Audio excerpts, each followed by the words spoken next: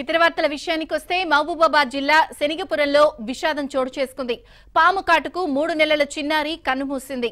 చిన్నారి తల్లి తండ్రి ప్రాణాలతో కొట్టుమిట్టాడుతున్నారు.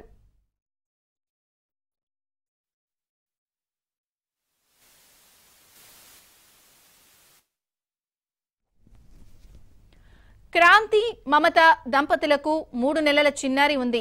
అనారోగ్య సమస్యతో కొన్ని రోజులుగా ఖమ్మంలోని ఓ ప్రైవేట్ హాస్పిటల్లో చికిత్స చేయించుకున్నారు. ఆ తర్వాత నిన్న రాత్రి ఇంటికి చేరుకున్నారు.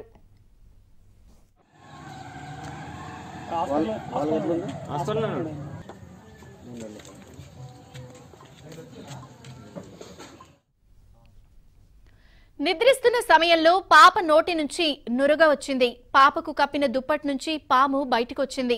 చిన్నారి తల్లిదండ్రులను కూడా కాటేసింది. చిన్నారి ఆసుపత్రిలో మృతి చెందగా తల్లి తండ్రి ప్రాణాలతో పోరాడుతున్నారు.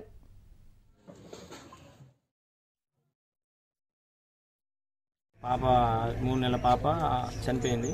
ఆమె ఆ పాపకి మంచిగా లేకపోతే ఖమ్మం తీసుకెళ్ళాము తీసుకెళ్ళారు తీసుకెళ్ళి వచ్చారు. వచ్చిన తర్వాత మళ్ళీ ఇంటికి తీసుకురాగానే చెద్దర్లో పండుకోబెట్టారు మంచంలో బెడ్లో పండుకోబెట్టిన తర్వాత. ఆ పాపకి ఆ పాము ఎక్కడి నుంచి వచ్చిందనేది తెలియదు. ఆ చెద్దరు కప్పిన తర్వాత పాము అందులో ఉంది పాపను కరిచింది. కరిచిన తర్వాతకి హాస్పిటల్ తీసుకొని పోయినాము. పాపను రోజులు పెడుతుందనగానే హాస్పిటల్ తీసుకుపోయినాం తీసుకుపోతుంటే హాస్పిటల్ దగ్గర పోయిన తర్వాత పాప పాము కింద పడ్డది.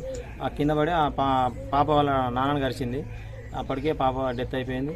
ఇక ఆ అబ్బాయిని తీసుకొని వాళ్ళ అమ్మని వాళ్ళని తీసుకుపోయి హాస్పిటల్లో తీసుకుపోయి ట్రీట్మెంట్ చేయించుకొని నైట్ మూడు గంటలకు తీసుకొని వచ్చినాం.